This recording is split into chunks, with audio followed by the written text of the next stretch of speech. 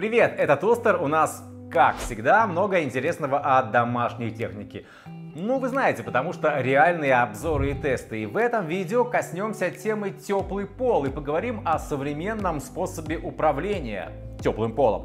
Ну, вы, наверное, уже догадались, да, что теплый пол теперь тоже умный. Ну, все вокруг умное, как-то уже порой теряешься. Думаешь, а не умнее ли тебя стиральная машина или вот теплый пол? Ну, поехали. Я не буду погружаться глубоко непосредственно в тему теплые полы. Возможно, мы сделаем об этом ну, отдельный ролик, поговорим с экспертом о них. Напишите в комментариях, кстати, надо вам это или нет, интересно или нет. Пока просто скажу, что есть два основных типа теплого пола. А, водяной и электрический теплый пол. Ну, а, водяные полы это обычно часть отопительной системы дома. А, мы будем подробно останавливаться на управлении электрическим теплым полом. Он работает работает локально. Это такая более простая в контексте монтажа и эксплуатации история. И зачем вообще нужны теплые полы? Да, хороший вопрос. Ну, конечно, чтобы ножкам холодно зимой не было, чтобы было тепло, чтобы детям, которые могут играть на полу, было тепло. По сути, это дополнительный источник тепла дома. Электрический теплый пол без проблем можно смонтировать в обычной городской квартире, в квартирном доме. А вот водяной нет. Это запрещено на законодательном уровне. Тут только частные домовладения. Сейчас можно выделить три основных вида электрического теплого пола. Классический кабельный, теплый пол с инфракрасной пленкой и термоматы. Повторюсь, не погружаемся сейчас глубоко в сами теплые полы, погуглите, если интересно вот это все. И вот к любому электрическому теплому полу прилагается обязательно терморегулятор.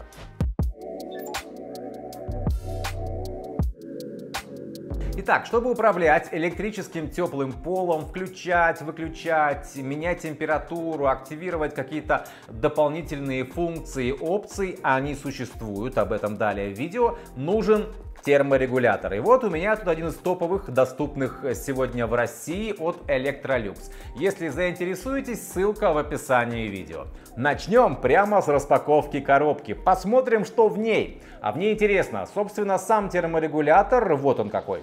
И к нему вот важно два варианта лицевых и декоративных панелей, рамок белого и черного цвета. То есть под большинство интерьеров сразу вы получаете все, сразу из коробки. Ну, колесо управления, потому что есть тут электромеханическое тоже управление, естественно. Просто не только оно есть, и об этом тоже далее. Колесо может быть фронтально белым или черным, опять же, ну и по бокам оно серебристое. Так все выглядит в итоге норм, благородно. И обратите внимание еще на сами корпуса терморегуляторов, они довольно тонкие, ну то есть будет нормально все смотреться. И еще важный момент про рамку. Вот она. И круто, что вы можете использовать не только ее, но и другие, подходящие конкретно вам по дизайну. Например, рамки других производителей. То есть в этом плане тоже хорошая вариативность.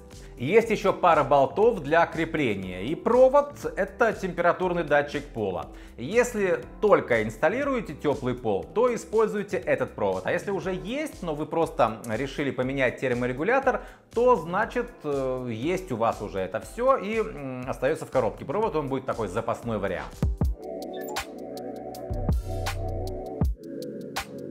Ну вот, я сказал, если решили поменять терморегулятор, а зачем, собственно, его менять? Ну, есть уже, работает и работает. Зачем эти телодвижения странные?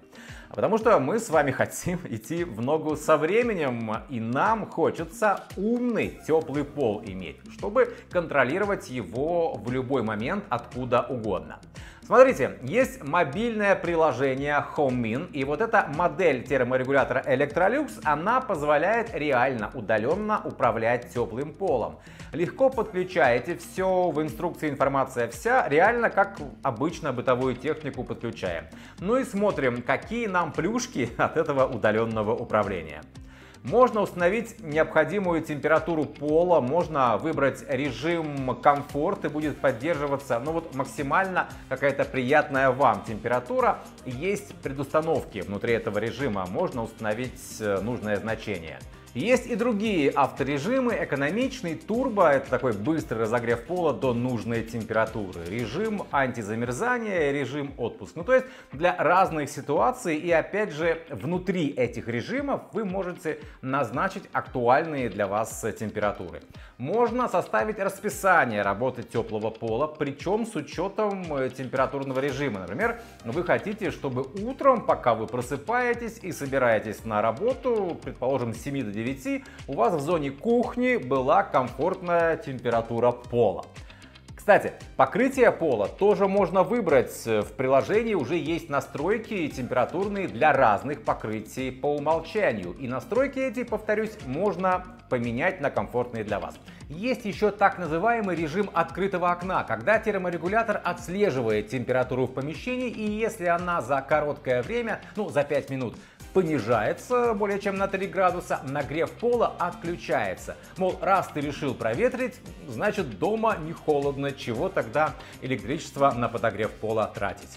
Ну вот смотрите, а, все же просто здесь. В мобильном приложении запутаться ну очень сложно. Но при этом полный контроль. И не обязательно из Парижа откуда-нибудь контролировать этот ваш теплый пол. Хотя можно и оттуда. Но даже будучи дома, со смартфона удобнее, чем шлепать к терморегулятору, чего тут крутить. Зашел в приложение и все настроил. Это вот как раз тот случай, когда удаленка явно в тему.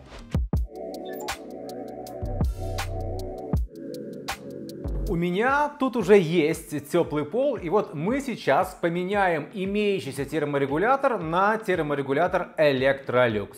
Мой теплый пол, он вообще-то в рабочем состоянии, нормально он работает, нет у меня никаких к нему претензий. Давайте удостоверимся в этом. У нас тут на дисплее указана определенная температура, и мы с помощью тепловизора проверяем это и понимаем, что все так и есть, что пол реально нагрет, все работает. Но небольшая разница в показателях приборов, она, если что, допустима.